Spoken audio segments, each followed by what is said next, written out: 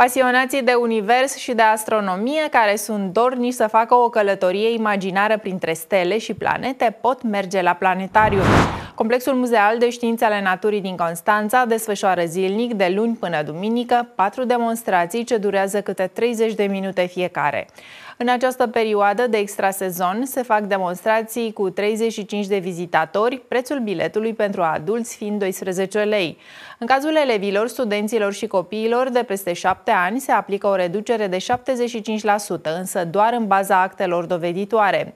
De asemenea, în cazul copiilor cu vârsta sub 7 ani, accesul este gratuit. Potrivit programului, reprezentațiile au loc la 9.45, 11.45, 13.45 și 15.